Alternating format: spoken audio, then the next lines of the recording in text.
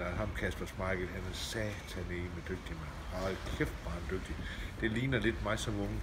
Øh, det samme øh, person, samme værmod, han har.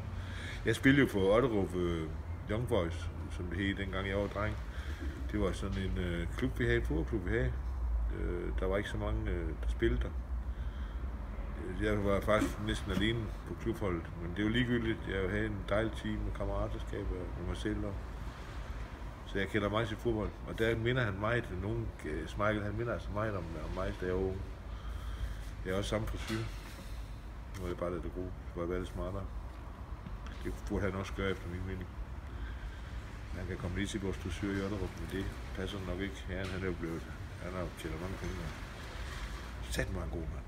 Og så skal vi spille mod øh, nogle andre næste gang igen i Frankrig. Bøsserøv, Frankrig, bøsserhomo, lorte Eiffeltårns elsker. Jeg kan kraftigt ikke have dem.